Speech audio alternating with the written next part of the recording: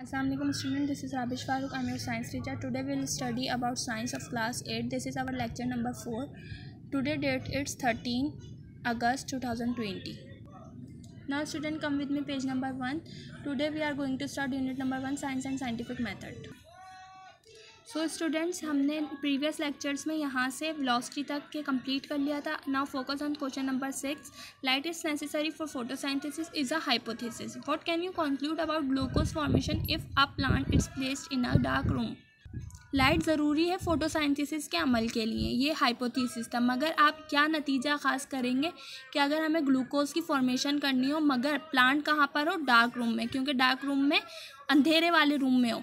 और वहाँ पर लाइट की मौजूदगी ना हो तो हम ग्लूकोज की फॉर्मेशन कैसे करेंगे तो आपका क्या नतीजा निकलता है इस चीज़ में? आपने इसका आंसर अपनी नोटबुक में राइट डाउन करना है।